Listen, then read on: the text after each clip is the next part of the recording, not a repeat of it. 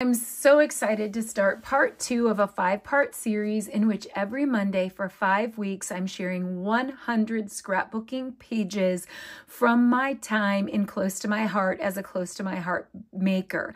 And I'm doing this as a tribute to Close to My Heart and all of the joy that I've received creating scrapbooking workshops um, as a maker and close to my heart. And I'm going to tell you, it was really tough to narrow down and pick out the next 100 pages. If you didn't catch my first 100 pages, I'll link those in the description. Before we start with the next 100 pages, I wanted to talk just briefly and address a comment that I received. So last week, I shared my first 100 pages, and some of those didn't have photos a lot of them actually. So I wanted to explain how I do things, how I did things in close to my heart, and how I will continue to do things in Stampin' Up. Oftentimes when I create a workshop guide for myself and my customers to be able to keep do our memory keeping, I will create more than one version. I might create a simple version and an elevated version. I might create a feminine version and a masculine version. I might create a Halloween version and a non-Halloween version. Oftentimes I will end up with with two versions. So for example, as you grow, I created a more masculine version for my grandson, Waylon James, and a more feminine version for my granddaughter, um, Ramsey Kate. And then I will not only create more than one version for a scrapbooking workshop, but I often will do my own proofing cut. So I will create a guide and then with that guide, I will um, test it out and I will do another cut. So that will give me a third workshop, for sure a second workshop, if not a third workshop using the same materials. And though I've probably created over 3,000 um, workshop pages in my Close to My Heart career, I can't possibly use 3,000 pages. So I have thousands of pages for sure, but I can't possibly use all of those pages. So here we have feminine version, here we have masculine version. Here we have um, a, a masculine version with my son, my grandson, Waylon James in his little fishing outfit and a feminine version. So this is this pattern flipped over. These are that same pattern flipped over. These are the same pattern flipped over. Just showing them ways that they can have versatility with one paper collection. So often I will give away my extra layouts. I will give them as gifts. I will make wedding albums out of them, birthday albums out of them. I will sell them sometimes. Sometimes I simply keep them in themed albums. So I'll put all the fall layouts in a fall album and all of the birthday layouts in an album and so on and so forth. But I did not want to take 500 pages out of all of my albums. So if I had a set that wasn't put away yet and didn't have photos on it, I opted to show that to all of you. And the ones that have photos on them are actually out of my albums. Okay, so I hope that helps. All right, let's go. We're going to have to boogie if we're going to get through all of these. So Heroes Are Helpers was, of course, during the pandemic, and Close to My Heart gave away a free SVG on the blog. If you type on the blog, Helpers Are Heroes, you will see that free SVG, and I use that with um, a background shape and a lot of different pattern paper scraps that I had to document my daughter, who is a nurse at this hospital, and her sister-in-law, who is also a nurse, and their journey during during the pandemic. I wanted to be able to document the pandemic, and though it was a very sombering, sobering time, I wanted to be able to still make amazing pages that had a design element, but to be able to tell the story. So I put my entire corona pandemic story here in a nice little stitched together um, Cricut piece. And then I printed on photo paper our uh, our total active cases map, and then I cut that out. And then there was a ton of free print printables on social media at that time. So I printed some of those out and cut those out. And then all of the Cricut elements are from our Stitch Together collection, which, which came out at about that same time. And again, documenting my daughter, who's the nurse, the toilet paper shortage, visiting with friends on Zoom, distancing, and my crafting time during that time, and all of the empty shelves. And I am so happy that I did that because I want my kids and grandkids to have that story. Here is a fun summer vibes collection. I'm historic for large Cricut elements. So I took this large sun from our summer vibes collection and backed it with all kinds of paper pieces, and the rest was simple. To me, it reminded me of the beach, of a picnic, of a wonderful summer day, and then just added my journaling there. And this was a day at the lake with several of my grandkids. Oops, I'm dropping pieces here. All right, this is an old, old, oldie. This is called Sangria, one of the very first pages that I did. And the reason I pulled this out is because of the pattern. The pattern is from one of our pattern books, and I used our pattern books a ton in the beginning, and I still use them today. And I can't imagine, speak up if you're one, but I can't imagine a maker out there that has not used this pattern out of our pattern books. It is classic and timeless, and I actually still love that pattern today. And twine was a big deal for sure. This one was called Celebrate Celebrating You. We had celebrating today, celebrating today, celebrating you, I think this one was uh, celebrating today. And I loved this collection because it was the introduction of layered embellishments. So we had some layered embellishments that would, um, would go right on top of each other. And I cut a Cricut circle, put paper strips that were torn across from it, and then trimmed out the circle and it used it as that back focal piece, left a few blanks for journaling, and then one focal photo. And I love the addition of the silver elements. This one is really reaching back a ways. This was called Yesterday and Today, and it was a um, nostalgic vintage um, series that was really, really great for heritage. So there was lots of old wallpapery feel papers, note papers, and a lot of ink distressing, clustering of stickers, and then I did a little bit of Cricut writing and mostly clustering the pieces that came right in the kit.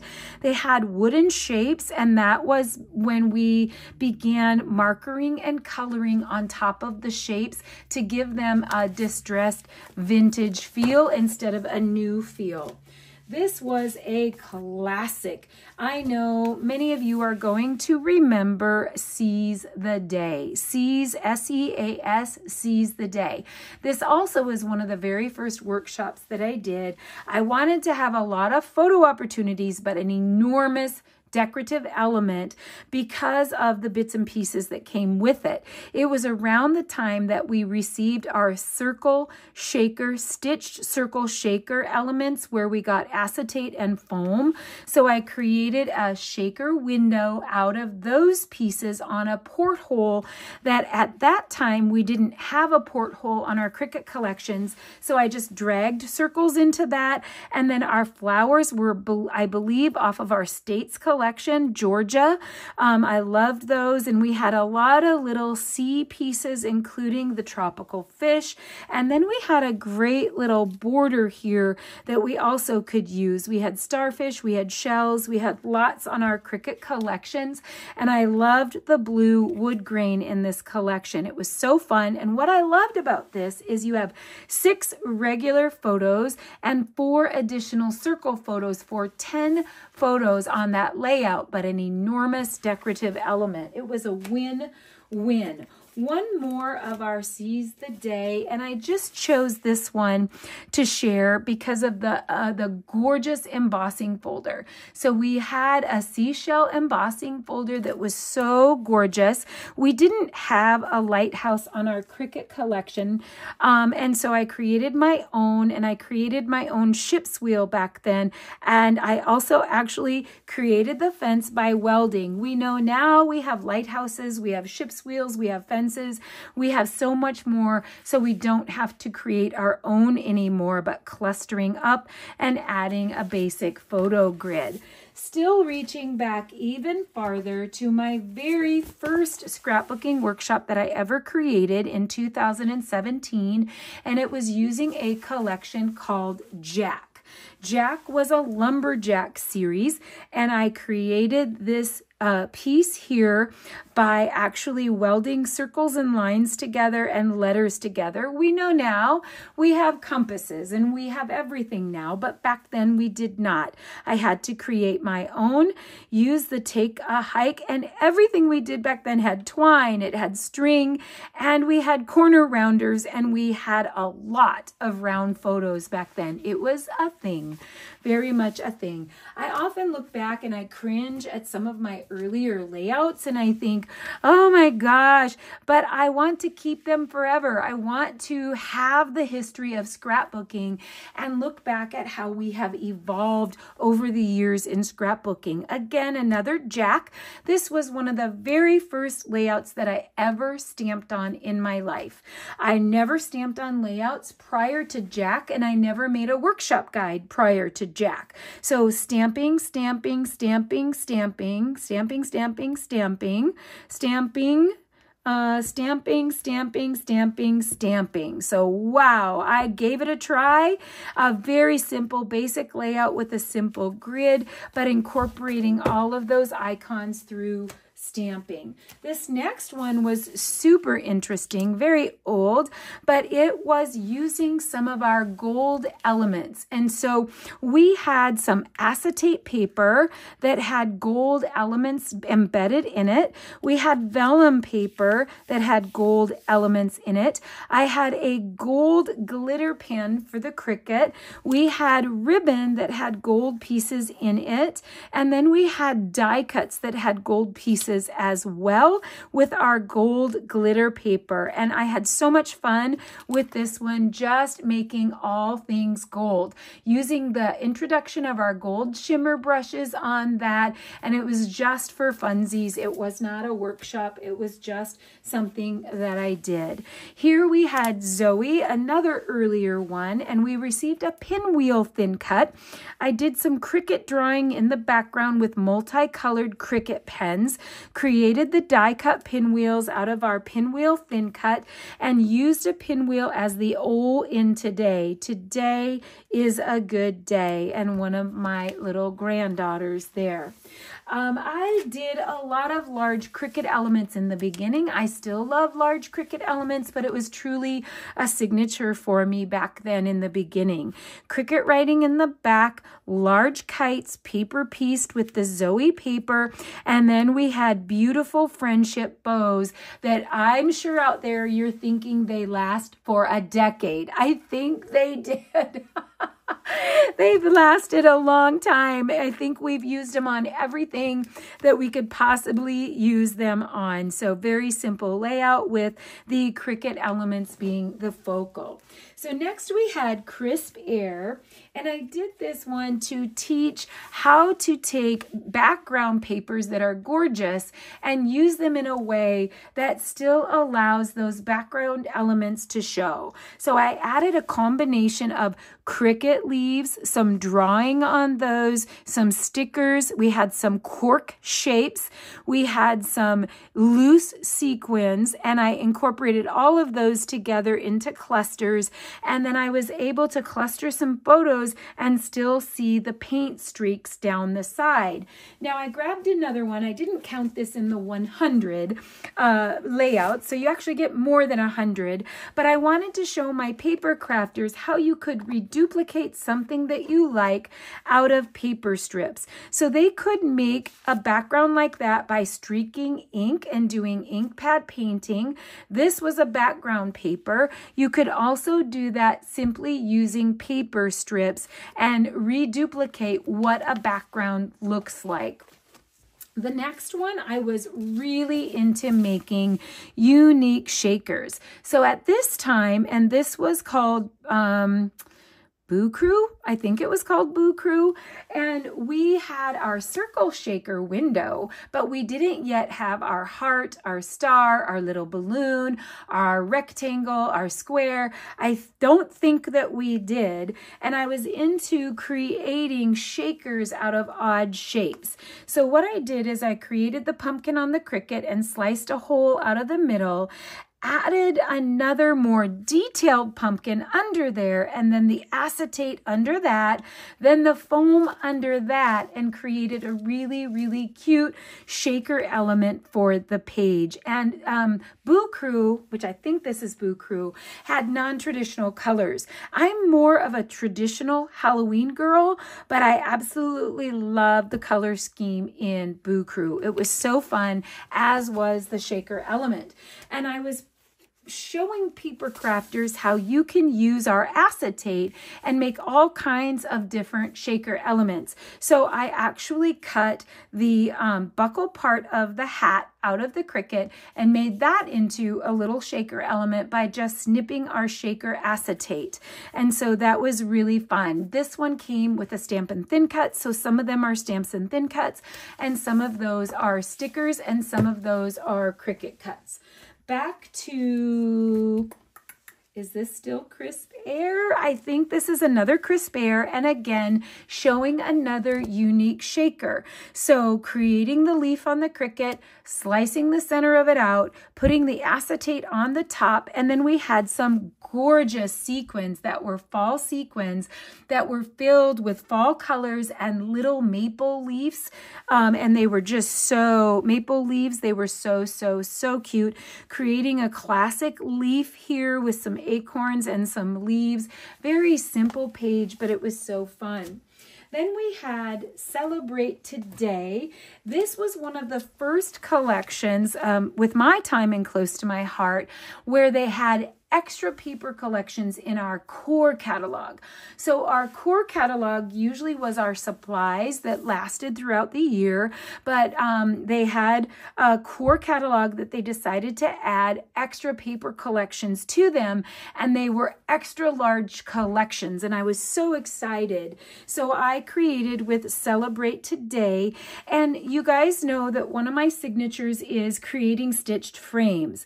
I wanted to do something besides a scallop frame, a stitched frame, a, just a plain square. So I drug some diamonds onto a square in my Cricut and sliced out that diamond sequin, sequin, sequin, oh my gosh, the, the diamond pattern.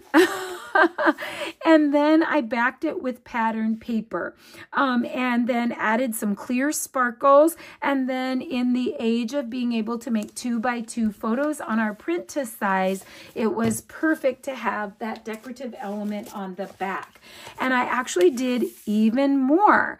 So this was taking busy pattern elements and offsetting those pattern elements with solid colors. So I have solid, solid, solid in a visual triangle around busy strips and I did pattern and then offset strip, pattern, offset strip. And so just showing how you can make vibrant and fun layouts with busy patterns and different ways to tone those patterns down. We also did a lot of background splatter and we had layered die cuts that were layered right on top of acrylics. And I think I probably have an example of that in one of my layouts here. So here we have another Celebrate Today. This is a more modern twist with this, where it was very popular to split your pieces instead of having a center grid, split your pieces and have a focal title in the middle. So what I did is I laid paper strips horizontally onto a background.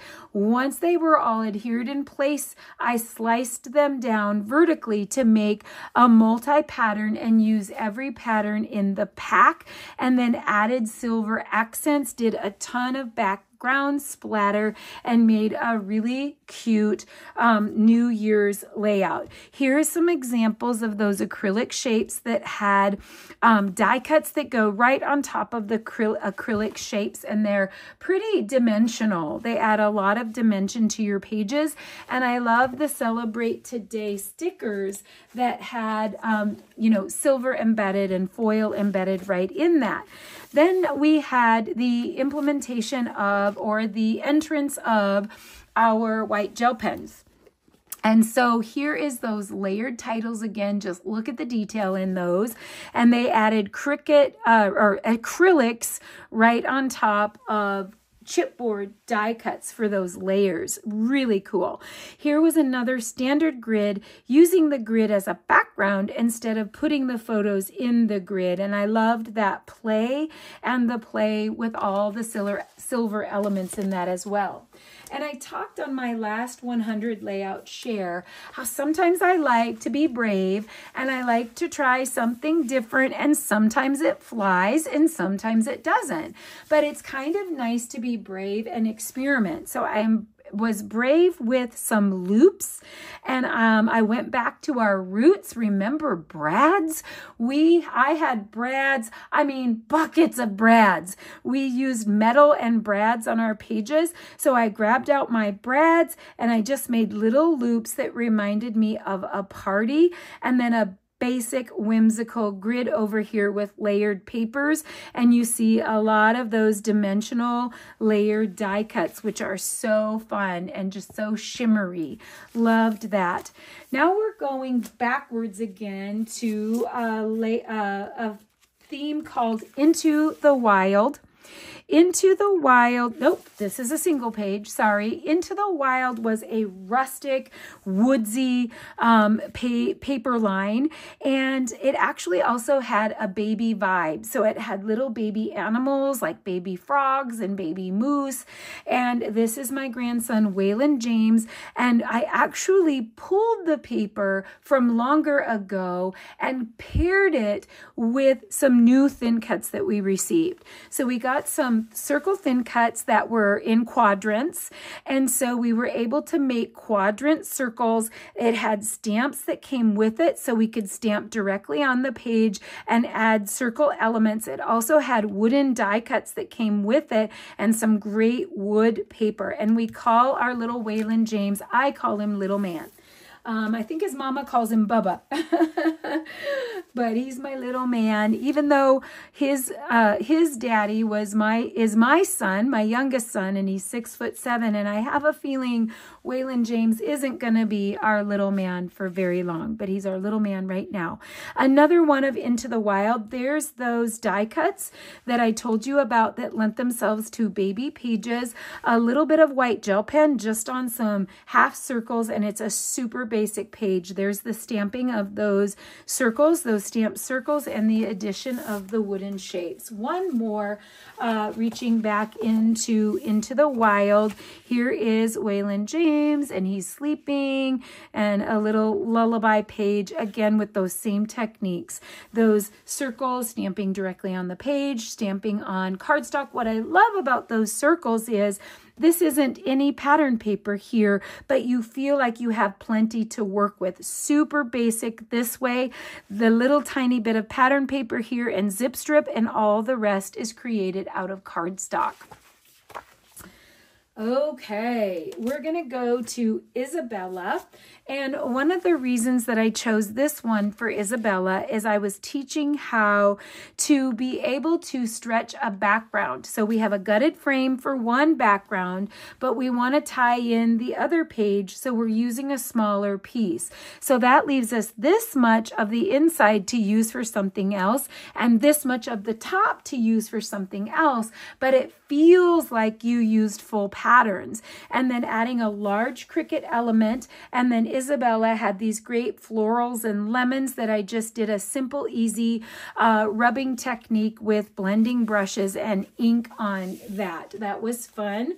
I also chose this one um, because I wanted to show how you could um, do a, a fancier layout or an elevated layout without Cricut cuts and without die cuts. So in this one, every single piece here is fussy cut out of pattern paper. So we had a large floral sheet that had large floral patterns on it and all of these pieces were cut out of it.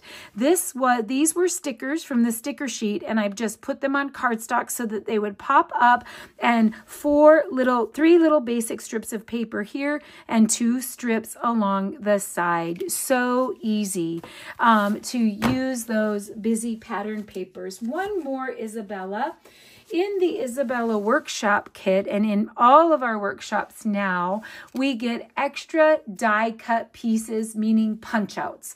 So these were punch out pieces that came right in the kit and I loved that play upward to have a little different play than a piece that's straight across. And then I could use just strips on the bottom and the top so that the middle, there's nothing there and there's no wasted space underneath. And we had acrylic shapes that would go over the top of pattern paper punch outs and stickers to add so much dimension and then stickers from the sticker sheet and a little bit of background inking techniques on that. Going back into a very basic one, we had Hillside Cottage. The reason I show, chose this one was because we had a pattern paper piece or die cut piece and then a square inside and you could pull the square out put the square on the opposite page and create a, a mesh so that the two pages coordinated with each other but you were only using one sheet of that paper. And so you can add the diamond. On this one you could have a smaller square and cut it on diagonals to just add the corners there and not waste a whole whole piece of paper. So I was showing how you could get a full and rich layout using less paper. And then Home is Where the Heart Is was off of the Hillside Cottage digital collection. One more from Hillside Cottage. So simple, so basic, and so classic. You see this layout over and over again, and I'm always interested to see it with larger squares, smaller squares, squares arranged in diamonds, squares arranged in a slant, squares arranged in different elements, and it's always interesting how the different patterns can make it look so different if you use that same pattern on multiple layouts. Ooh, we're really going back here. This was a single page that I created. I believe it was a challenge, a cardstock only challenge. And we got a, a thin cut that was this star. And there were different sizes of stars, which was so fun. And then we also got a happy thin cut and a hello thin cut. And then this is all cardstock in the back and some of it is embossed like with our chevron folder. And then we have light side, dark side, cardstock to add an extra element there. And then we had these acetate uh, cards. They were four by six and three by four that had gold bits embedded in that to just add some texture under there. And then I was really into finding quotes and things, typing them, and then printing them on cardstock. Oh boy, really going back here. So this was back in the day when twine was all in and interactive booklets were the thing. So we had so many of these little interactive booklets on our pages and you could flip them over. This is my husband and myself on a hot summer night and he's grilling some steaks out at the ranch for me. And yeah, and so we created these little booklets and then by scoring and we would cut out bits and pieces of our page protector, tie it in a nice string, and then have an interactive element that you could pull out of your pages. And this was created just by using a stamp set and fussy cutting. So we had a barbecue grill stamp set and we had Build-A-Plaid and we created the banner and all the bits by stamping and fussy cutting. It's kind of hard to see with the glare, so I'm sorry about that. Um, but I had to leave it in the page protector to pull it together. I pulled out another simple one. I didn't want to only pull out my elevated pages. I wanted to show some more simple pages and this was part of our subscription program and I was showing how you could change it up to make it fit yourself and how you could elevate it. So I elevated it by adding ribbon, by adding photo mats, by changing up the elements that came right in the kit and doing different things with those same elements. So I just wanted to show people how you could still keep it simple, um, but be able to make it your own. Then we're going to Party Time. Party Time was another one of those collections that was in our core catalog that had extra paper and it was reversible. So you could do Party Time Blue, you could do Party Time Pink, and you could simply flip the pages. And I loved showing how you could take an absolutely nothing to it, very basic, strips in the background, add large Cricut elements on the top and a large Cricut element on the bottom and be done and still have featured photos. I thought that that was so fun adding those balloons to that. Here is another party time. And do you guys remember our stitched scalloped border? Large stitched scallop border. So I don't know if you can see it on the camera, but they're stitching on all of those. And oh boy, oh boy, did makers everywhere make snow out of that. They made little hills. They made borders. They made, they made clouds. They made everything out of those stitched borders. And it was simply layering those stitched stitched borders down on colorful paper. And of course, back then it was twine, twine, twine. Everything was twine. This was just a for funsies. This wasn't part of a workshop, but it was showing ways to highlight a featured stamp, color within the stamp, coordinate it with just glitter papers and primarily cardstocks. And so I was uh, sharing my soul with the world. I was in Arizona and I was hiking and I was the victor. Um, and so that was a fun one with the Cricut Mountains on top. Okay, I think so. I've showed you Celebrate You. And I think this one is Celebrate Today. I have a Celebrate You and a Celebrate Today that I get the elements mixed up, but I was really into vellum during this time. So I made shaker elements out of the stars and that added vellum over the top, did some embossing on some pieces, and we had die cut stars with this set where we just punched out all the die cut stars, but we also had a happy birthday embossing folder that had wonderful birthday sentiments on it and a wave embossing folder and then our classic Swiss dot did some splattering in the background and just made a really fun colorful page. So we also in that same kit got the pinwheels and then this came with so many punch out circles. Punch out circles that had hearts, punch out circles that had titles. It had clear acrylic shapes. I don't know if you can see those clear acrylic shapes that you could put stickers over the top. So these were acrylic shapes and you could put stickers over the top to make them look like clothespins. And then the Polaroid pieces came right in the kit. And then it had a wonderful floral background that people used for so many things. Wow, we're getting there. We're getting, we're over, well over half done. So fall is my favorite of all. It is my favorite season and sangria, one of our retired colors, was one of my most favorite colors of all. So in, um, Bloom with Grace. This Bloom with Grace was such a popular set. It was used and used and used, but we had a punch out background overlay that had the maple leaf cut out of it. I can't remember if the word the wood grain paper came with Bloom with Grace or if it was a season mix in, but I backed it with the wood grain, created some tags, backed the Cricut cuts with pattern paper, and the rest is stickers and wooden pieces. Really basic, but I loved that punch out overlay background. It was so much fun. This one, I was showing how to use hard to use patterns. So even though it's a really cool pattern, I had trouble using that wood grain. It was a little bit much when it was all together. So I showed my paper crafters how they could cut it in strips, back it with cardstock to tone it down and make a little uneven fence. And then Bloom with Grace had a digital collection with these gorgeous sunflowers. And my favorite part of the sunflowers is this cool grid center.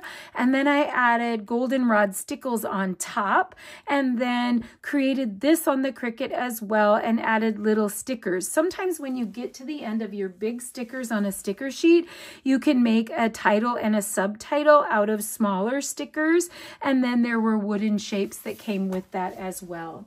This was one of my all-time favorite Bloom with Grace layouts. Um, I loved creating this with, of course, my classic um, scalloped frames, a classic circle, splattering on the circle with some of our inks or our shimmer brushes, adding the wooden shapes, and then all of these were stickers and layering the photo elements. It was so easy. I've used this style of a layout over and over and over. I love to shop my old patterns.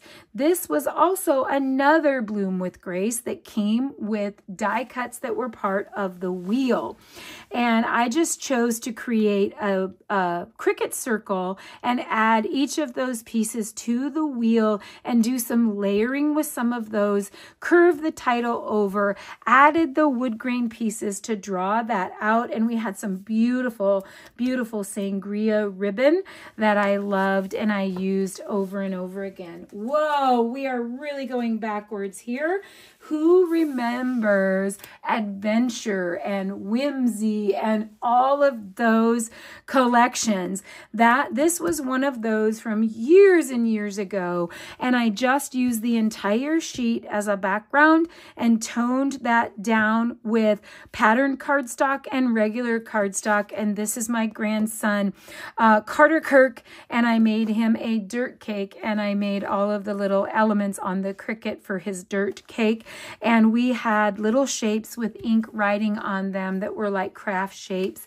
Who remember? I'm trying to think of the other. We had adventure, we had whimsy. There were two more. Basic. There was one more, Adventure, Whimsy, Basic, and I feel like it started with an A.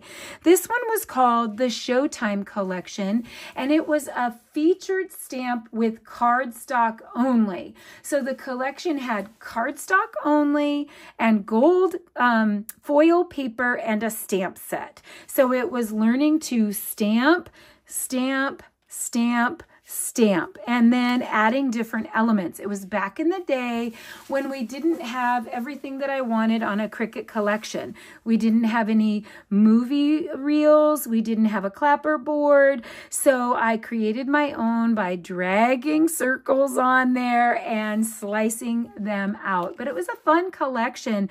The popcorn I made out of a cloud and then I made a triangle and cut the bottom off and put red shimmer trim down it to make a popcorn box.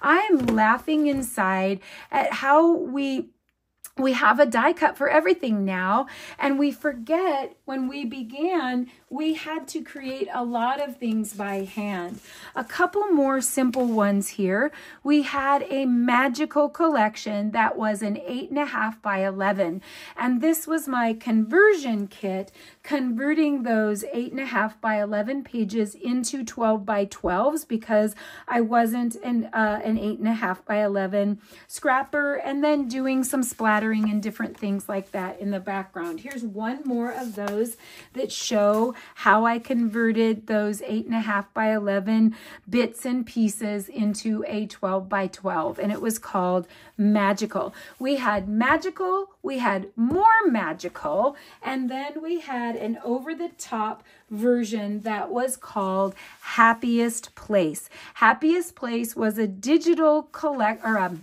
a Disney collection that had a digital collection as well. And so I showed two ways that you could use Happiest Place, one that was Disney and one that was non-Disney. So we had these great fireworks on the Happiest Place collection, and we had a lot of digital pieces, all of the little swirls, these little things I actually created. I uh, uh, cut out the beach house did Cricut drawing, did ink blending, rubbing, and splattering to make a happiest place is shooting fireworks off at the beach and having 4th of July at the beach or just celebrating New Year's or anything like that at the beach. So here is its counterpart. This is the Disney version of Happiest Place. So I did a 12-page workshop that was Disney themed and a 12-page workshop that was non-Disney. So I cut out the Mickey head or Minnie head um, out of the base, did Cricut writing back in the day when we didn't have the curved text tool. So yes, I drug each letter uh, around the shape. Now you can type, curve it with your curved text tool and it's easy. Added pattern paper strips. We had pattern paper with this Happiest Place collection that had silver embedded in it. And then all of these pieces were from the collection. But what I did with the Happiest Place fireworks is I cut a, mi a Minnie head out of the firework by slicing it out of the firework to give it that Disney vibe.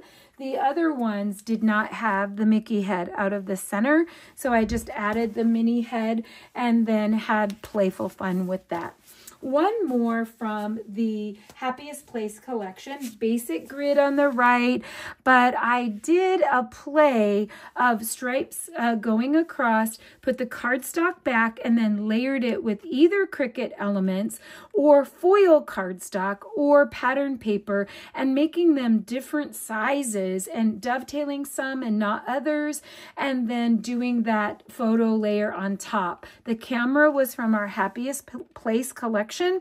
And then we also had acrylic shapes with that collection. So that was kind of a fun little background. Oh, I guess there's one more. I can't believe there's one more.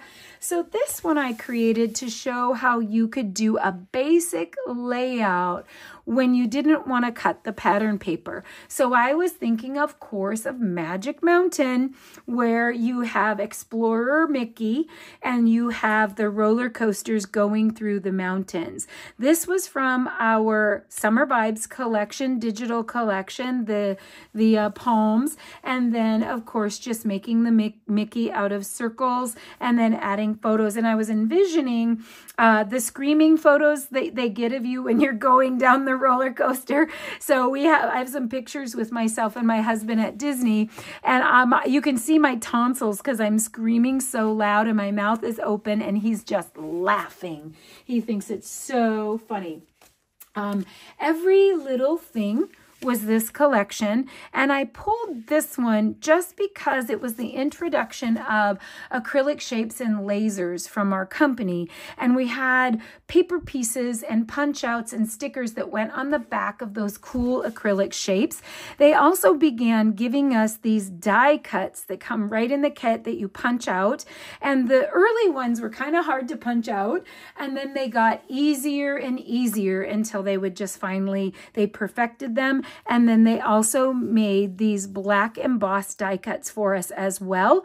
And then we also had stamped and thin cut pieces. My earlier markering, don't judge.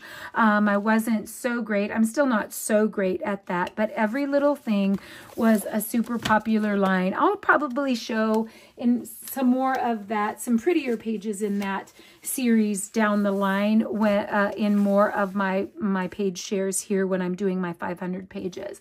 This was called Gimme Some Sugar. It was a really early one that had a baking theme, a country theme, little country bumpkin theme. Just added the sun, squares on our craft paper. You guys remember our craft paper? We haven't used it in a while. Um, ribbon on everything again, die cuts, embossed pieces on die cuts, and a couple little Cricut cuts. So basic. So, so basic.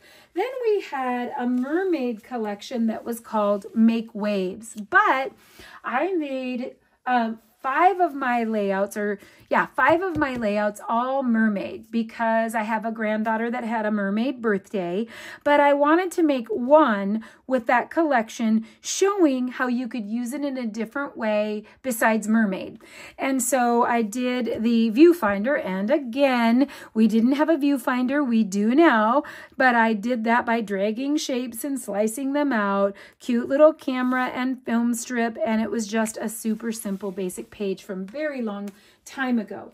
This was one of my first workshops as well, and it was called Postcard Perfect, and I believe it was a May National Scrapbooking Special. Now, it was a bugger. We did not have thin cuts. And so every one of the flowers in this set had to be stamped off and fussy cut.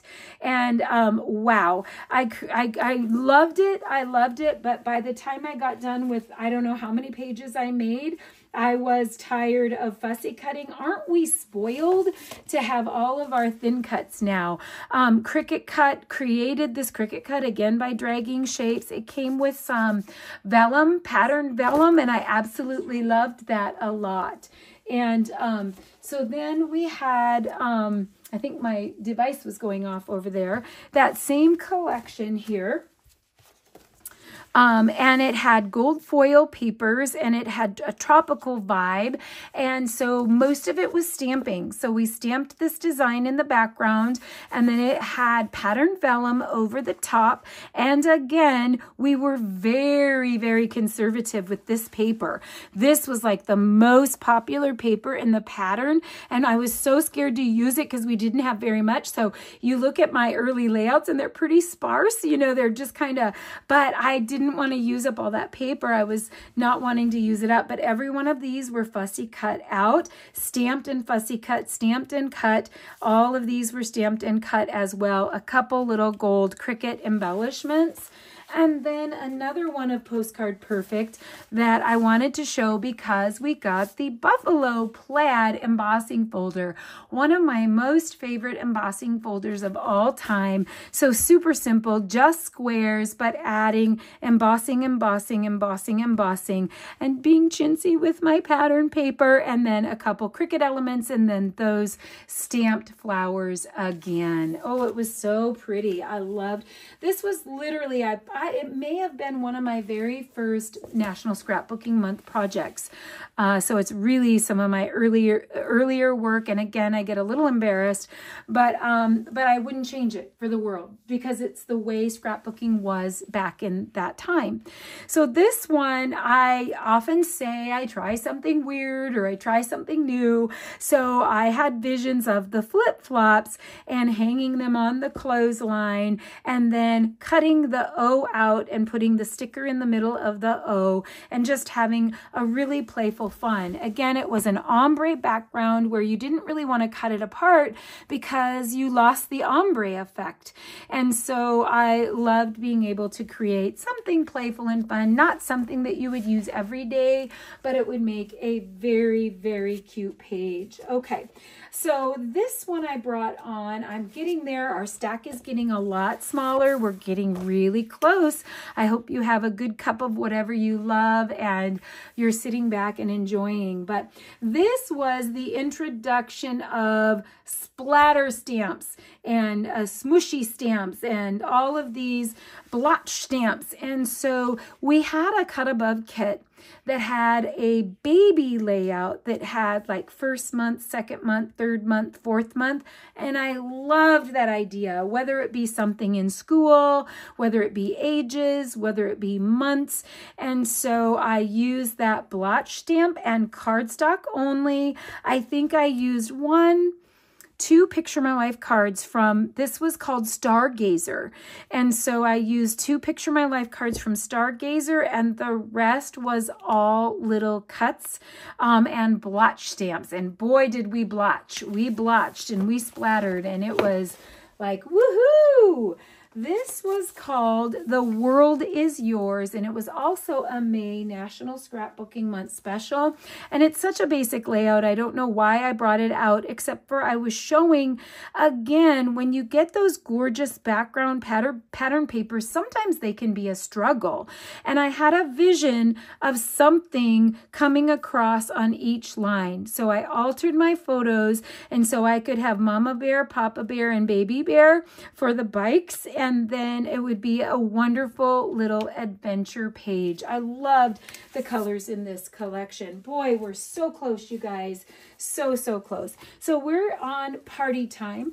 We had party time um, pink and party time blue. So I pulled these so you can see the cake and then see another use for that stitched scallop and then also to show how I did the exact same layout only I reversed the pattern papers backwards. So one side became the other and they're identical in every other way.